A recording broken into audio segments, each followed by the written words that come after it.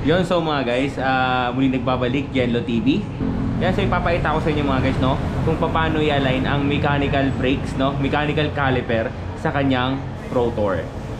Kasi ang content natin ngayon is how to align mechanical caliper, no, mechanical brakes caliper sa rotor mga guys. Pero syempre bago tayo magsimula no, huwag kalimutang i-subscribe ang aking channel mga guys no, Genlo TV. Yan so mga guys, ah, ito yung caliper mga guys no. Sinet up ko na to na nakasayad yung kanyang ah, nakasayad yung kanyang right pads mga guys no. Yan so pag dito natin to is left to mga guys. Yan so nakasayad yung bandang left. Then ang kanyang right eye, yan medyo nakaangat syempre. Yan so para makita nyo, sinet up ko siya na ganyan. Halimbawa, ganyan yung setup ng preno nyo. Yan, so ibig sabihin yan, mahina ang free wheel niyan mga guys, no. So dapat ah, may mga kapon distansya sila kabilaan. Yan, so para pagka ginagamit mo ay hindi rin maingay na parang may naririnig ka tunog habang gumugulong ang inyong bisikleta mga guys. Yan, so ang una nating gagawin mga guys, ay kukuha tayo ng Allen wrench, no? Yan, 5mm na Allen wrench mga guys, no? Yan, so ang gagawin natin, ah, kung naka-side mount ka naman mga guys, tulad nito, so syempre kasi pagka mechanical, ah, karamihan is naka-IS mount mga guys, no? So, ang tatanggalin natin ay ito syempre. Yan, para masanay tayo na halimbawa kahit post mount, ah, paano natin, ma kahit post mount is alam na natin kung paano yung pagtanggal mga guys. No? So, tatanggalin natin siya.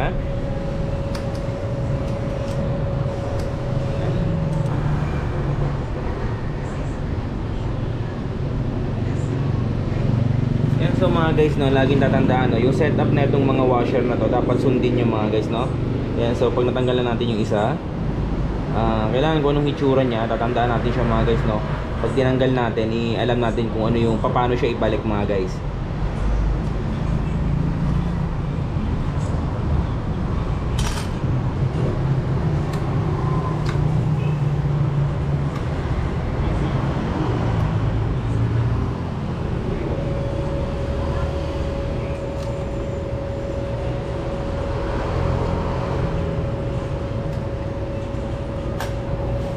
Yan, so natanggalin natin siya mga guys, no.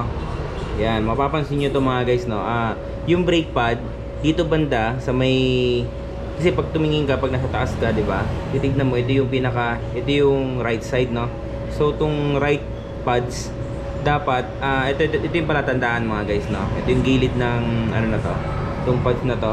Yan, mapapansin niyo mga guys. Yan. Yan.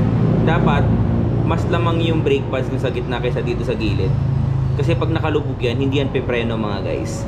No? Yan. So, dapat lamang siya, no? Pero, minsan kasi, ah, may adjuster yan dito mga guys, no? Yan, yan.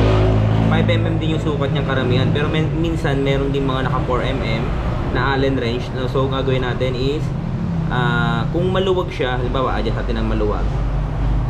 Alam niyo naman kung paano yung pagpaluwag mga guys, no? Pag pinaluwagan natin siya, ibig sabihin bababa siya no? Lalaki yung space ng dalawang brake pads. So ang gagawin natin dito mga guys no? Para mas maraming pre kasi ang gumagalaw nito mga guys no? Ang gumagalaw nito ay ang kanyang left pad mga guys no? So ito yung gumagalaw. Isa lang. Mapapansin niyo din yan yan isa lang ang gumagalaw no? So ito dapat naka pre siya. Yan kumbaga dapat ah, kung po pwedeng sagad pero pag sagad naman kasi sobrang liit na ng diferensya, no? At least siguro may kita mo naman yung bakal. Ito yung bakal. Ito yung pinaka pads niya mga guys. So tinatawag na resin sa Shimano mga guys, no? Ah, kahit kalahati lang yung clearance dito. Ilalagay mo lang sa kalahati ng pads. Yan. So papapantay natin mga guys na sa kalahati. Yan, nakalabas ng konti. Yan, okay na po. So babalik na natin mga guys, no? So dapat ito, ah, tinandaan nyo kung paano kakalasin no? Kung ano yung itsura niya sa stop dapat tinandaan nyo siya kung paano siya ibabalik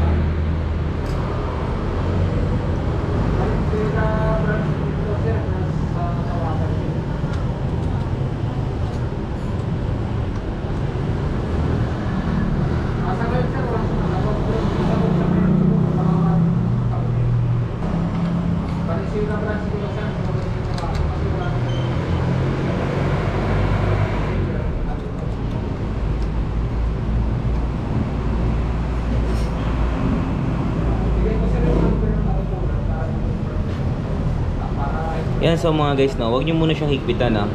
Yan, mapapansin nyo siya, wag nyo muna higpitan. Ang gagawin nyo is luluwagan muna natin to mga guys, no. Yan. Yan, so luluwagan muna natin yung cable. Ito yung ano ng cable mga guys, luluwagan muna natin. Yan. So maluwag na yung cable mga guys, no. So ang gagawin natin ay hihigpitan natin siya. Yan, higpitan natin tension, no. Habang nakapasok dito yung Allen wrench, iangat natin mga guys, na mapapansin nyo nag-a-adjust siya, no. Iangat lang natin siya ng konti. Konting-konti lang para alam na natin yung clearance. Tapos natin ulit yung cable.